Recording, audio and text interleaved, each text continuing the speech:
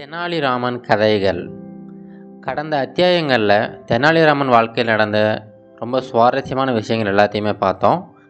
அவர் சின்ன வயசில் எப்படி காளிதேவி கிட்டேருந்து சாபம் வாங்கினார் அப்புறம் காளிதேவி கிட்டேருந்து எப்படி வரம் வாங்கினார் அதுக்கப்புறமா அவருடைய இளம் வயசில் ராஜகுரு எப்படி அவரை ஏமாத்தினார் அதுக்கப்புறமா கடைசியாக எப்படி இவருடைய அறிவாற்றலை பயன்படுத்தி எப்படி அரசவை உறுப்பினராக ஆனார் அரசவையில் எப்படி இவருக்கு விகடகவி அப்படிங்கிற பட்டம் கொடுத்தாங்க?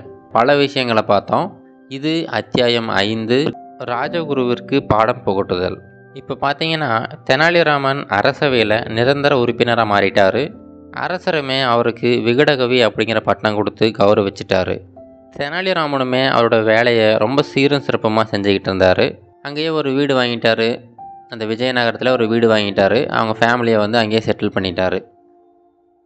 இப்போ எல்லாம் நல்லபடியாக போய்கிட்டுருக்கு இப்போ அவர் வந்து இந்த ராஜகுருவுக்கு ஒரு நல்ல பாடம் புகட்டணும் அப்படின்னு யோசிக்கிறாரு.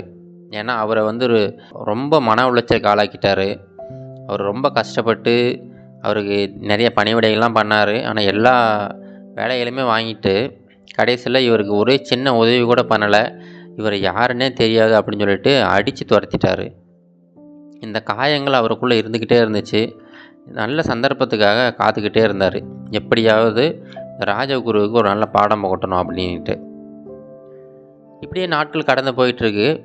இவருக்கு ஒரு தகவல் தெரியுது. என்னென்னா இந்த ராஜகுரு இருக்கார்ல தாத்தாச்சாரி. இவர் காலையில் நாலு மணிக்கே குளிக்க போயிடுவார் அந்த அரண்மனை பக்கத்தில் தான் துங்கபத்ரா ஆறு ஓடிக்கிட்டு இருக்கும். அந்த துங்கபத்ரா ஆறில் போய் தான் அவர் குளிப்பார். நாலு மணிக்கு குளிக்கும்போது பார்த்தீங்கன்னா ரொம்ப இருளாக தான் இருக்கும். அந்த இருள் சூழ்ந்த அந்த டைமில் ராஜகுரு அவருடைய துணிகள் எல்லாத்தையுமே கலட்டிட்டு நிர்வாணமாக தான் குளிப்பார். இந்த விஷயம் தெனாலிராமனுக்கு தெரியுது.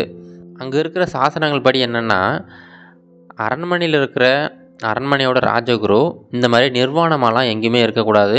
அவர் துணி இல்லாமல் எந்த ஒரு இடத்துலையுமே இருக்கக்கூடாது அப்படின்னு சொல்லிட்டு அங்கே இருக்கிற சாசனங்கள் சொல்லுது. இந்த விஷயம் தெனாலிராமனுக்கும் தெரியும் அது ராஜகுருவுக்குமே தெரியும். ஆனால் ராஜகுரு பார்த்திங்கன்னா அது என்ன யார் என்ன சொன்னால் எனக்கு என்ன?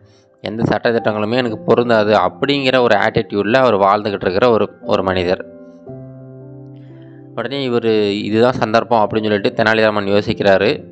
அதே மாதிரி அடுத்த நாள் காலையில் ராஜகுரு நாலு மணிக்கு எழுந்து குளிக்க போகிறாரு தெனாலிராமனுமே அவருக்கு தெரியாமல் இவரை பின்தொடர்ந்து பின்னாடியே போய்கிட்டு இருக்காரு. இவர் துங்கபத்ரா ஆறுகிட்ட பக்கம் போயிட்டு அவரோட துணிகள் எல்லாத்தையுமே கரட்டி ஓரமாக வச்சுட்டு ஆற்றுக்குள்ளே இறங்கி குளிக்கிறாரு. அவர் குளிச்சுக்கிட்டு இருக்கும்போது தெனாலிராமன் அப்படியே மெதுவாக வந்து அந்த துணிகள் எல்லாத்தையுமே எடுத்து கொண்டு போய் வேற ஒரு இடத்துல மறைச்சி வச்சிடுறாரு.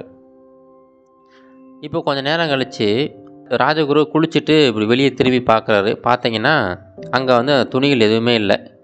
இவர் அப்படி என்ன பண்ணுறதே தெரியல. ஐயோ ஏன்னா இப்போ அவர்கிட்ட எந்த துணியுமே இல்லை. எழுந்து வெளியும் போக முடியாது. இன்னும் கொஞ்சம் நேரம் ஆச்சுன்னா பொழுது விடிஞ்சிரும். அவன் மக்கள் எல்லாருமே வந்து வர ஆரம்பிச்சிருவாங்க. மக்களுக்கெல்லாம் இவருடைய இந்த மாதிரி இருக்கிறது தெரிஞ்சால் இது ரொம்ப பெரிய ஒரு பிரச்சனை உண்டு பண்ணிடும் ஏன்னா மன்னருக்கு இந்த விஷயம் தெரிஞ்சுச்சுன்னு வச்சுங்களேன் இது வந்து கிட்டத்தட்ட ஒரு தண்டனைக்குரிய குற்றம் தான் அதனால் இவர் பதறிக்கிட்டு ஐயோ என்னாச்சு ஏதாச்சுன்னு சொல்லிட்டு அப்படியே சுற்றி முற்றி பார்க்குறாரு யாரோ துணி எடுத்துகிட்டு போயிட்டாங்களே அப்படின்ட்டு அப்படி பார்த்துக்கிட்டு இருக்கும்போது தெனாலிராமன் அங்கே ஓரமாக நின்று எதுவுமே தெரியாத மாதிரி மேலே எங்கேயும் பார்த்துக்கிட்டு இருக்காரு. இப்போ ராஜகுருக்கு வந்து அவர் செஞ்ச சம்பவங்கள்லாம் ஞாபகம் வருது. தெனாலிராமன் தான் இந்த மாதிரி பண்ணியிருப்பார். ஏன்னா தெனாலிராமனை வந்து நம்ம ரொம்ப காயப்படுத்திட்டோம். தெனாலிராமனுக்கு பல துரோகங்கள்லாம் செஞ்சிட்டோம். அதனால் தெனாலிராமன் தான் நம்மளுக்கு ஏதோ பண்ணணுமே அப்படின்னு சொல்லிட்டு துணியெல்லாம் எடுத்து ஓர வச்சுட்டாரு போலையே. எப்படி நம்ம கேட்குறதுன்னு சொல்லிட்டு ஒரு சில ஒரு சில நிமிடங்கள் வந்து யோசிக்கிறாரு. வேறு யாராவது இருப்பாங்களான்னு சொல்லிட்டு பார்க்குறாரு ஆனால் அங்கே வேறு யாருமே இல்லை. உடனே ராமா தயவு செஞ்சு என்னை மன்னிச்சிரு. என்னோடய துணிகளை மட்டும் என்கிட்ட கொடுத்துரு. ஏன்னா அந்த துணிகள் இல்லைன்னா என் மானம் போயிடும். அது இல்லாமல் இது இங்கே ரொம்ப பெரிய ஒரு பிரச்சனையை உண்டு பண்ணிடும் தயவு செஞ்சு என் துணிகளை கொடுத்துருப்பாராமா அப்படின்னு சொல்லிட்டு கதறிக்கிட்டு இருக்காரு. தெனாலிராமனுமே எதுவுமே தெரியாத மாதிரி ரொம்ப அமைதியாக நின்றுக்கிட்டு இருக்காரு. அதுக்கப்புறம் கொஞ்சம் நேரம் கழித்து ராமன் வந்து பக்கம் போயிட்டு அவர்கிட்ட சொல்கிறாரு ஐயா நீங்கள் வந்து எனக்கு ரொம்ப துரோகம்லாம் பண்ணிட்டீங்க. இதுக்கு நீங்கள் ஏதாவது ஒரு பரிகாரம் பண்ணி தான் ஆகணும். நீங்கள் ஏதாவது பரிகாரம் பண்ணால் தான் நான் வந்து உங்களுக்கான துணிகளை கொடுப்பேன் அப்படின்னு சொல்லிட்டு சொல்கிறாரு அந்த சூழ்நிலையில் என்ன சொன்னாலும் செய்யறதுக்கு ராஜகுரு ரெடியாக இருந்தார். ராமா நீ என்ன வேணாலும் சொல்லு நான் செய்கிறேன் ஆனால் தயவு செஞ்சு என் துணிகளை மட்டும் கொடுத்துருப்பா.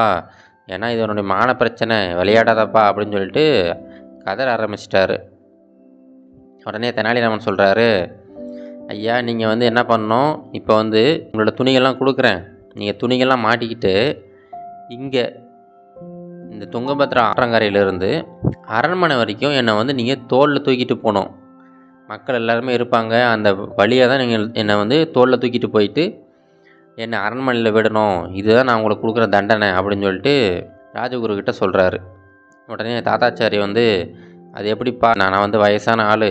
என்னால் உன்னை தூக்க முடியுமா? அப்படி இப்படின்னு சொல்லிட்டு ஏதோ சாக்கு போக்குலாம் சொல்லி பார்க்குறாரு ஆனாலுமே தெனாலியாமன் விடுறதா இல்லை. நீங்கள் இந்த இந்த பரிகாரத்தை செய்கிறதுக்கு சரின்னு சொன்னீங்கன்னா நான் துணிகள் கொடுக்குறேன். அப்படி இல்லைன்னா நான் அந்த துணிகள் எல்லாத்தையும் எடுத்துக்கிட்டு நான் பாட்டுன்னு கிளம்பி போய்கிட்டே இருப்பேன். நீங்கள் எப்படியோ கடங்க அப்படின்னு சொல்லிட்டு சொல்கிறாரு இப்போ தாத்தாச்சாரிக்கு வேறு வழியே கிடையாது. தெனாலிராமன் சொல்கிறத செஞ்சு தான் ஆகணும். உடனே சரிப்பா நான் வந்து உன் தோளில் சுமந்துக்கிட்டு இங்கேருந்து கொண்டு போய் அரண்மனையில் விட்றேன். அதனால் தயவு செஞ்சு என்னோட என்னோடய துணிகளை கொடு அப்படின்னு சொல்லிட்டு ஒத்துக்கிறாரு. உடனே தெனாலிராமனுமே இந்தாங்க ஐயா உங்களோட துணிகள்னு சொல்லிட்டு எடுத்துகிட்டு வந்து கொடுக்குறாரு. தாத்தாச்சாரி அவரோட துணிகள்லாம் மாற்றிக்கிட்டு தெனாலிராமனை தோளில் தூக்கிக்கிட்டு அந்த அரண்மனைக்கு நடந்து போய்கிட்டே இருக்கார். போகிற வழியில் எல்லா மக்களுமே பார்க்குறாங்க எல்லாருமே என்ன இது தாத்தாச்சாரி எவ்வளோ பெரிய ஆள்? இவர் வந்து தெனாலிராமனை தூக்கிட்டு போயிட்டு இருக்காரு. என்ன காரணமாக இருக்கும்? என்ன காரணமாக இருக்கும்னு சொல்லிட்டு அங்கே விஜயநகரில் இருக்கிற எல்லா மக்களுக்குமே இந்த விஷயம் தெரிஞ்சு போச்சு. எல்லாருமே என்ன எதனால் தூக்கிட்டு போகிறாரு எதனால் அப்படின்னு சொல்லிட்டு எல்லா மக்களுமே கேட்க ஆரம்பிச்சிட்டாங்க. ஆனால் தாத்தாச்சாரி ஒரே வார்த்தை கூட பேசலை. அமைதியாக தெனாலிராமனை தூக்கிக்கிட்டு வேக வேகமாக கொண்டு போய் அரண்மனையை வெட்டிட்டு அவரோட அறைக்கு ஓடி போயிட்டார். இப்போ பார்த்தீங்கன்னா இந்த விஷயம் இங்கேயே முடியலைங்க. தெனாலிராமனை வந்து மறுபடியும் பழி வாங்கணும் அப்படிங்கிற அந்த உணர்ச்சி தாத்தாச்சாரிக்குள்ளார ரொம்ப மேலோங்கிருச்சு. அடுத்து தெனாலிராமனை வந்து எப்படியாவது ஏதோ ஒரு சிக்கலை மாட்டி விடணும் அவரை வந்து வேலையை விட்டு தூக்கிடணும் அப்படின்னு சொல்லிட்டு ரொம்ப அதிகமான பொறாமை உணர்ச்சியோட அவர் வந்து காத்துக்கிட்டு இருக்காரு. நாம் இதோட இந்த அத்தியாயத்தை முடிச்சுக்கலாம். மீண்டும் அடுத்த அத்தியாயத்தில் எப்படி தாத்தாச்சாரி தெனாலிராமனை பழி வாங்குறதுக்காக என்னென்ன செயல்கள்லாம் செஞ்சார் அதிலிருந்து தெனாலிராமன் எப்படி சுலபமாக வெளியில் வந்தார் அவருடைய அறிவாட்டலை பயன்படுத்தி அப்படிங்கிறது எல்லாத்தையுமே பார்க்கலாம். இது கரேஜ் டு ஆக்ட் மோட்டிவேஷன் கதைகள்.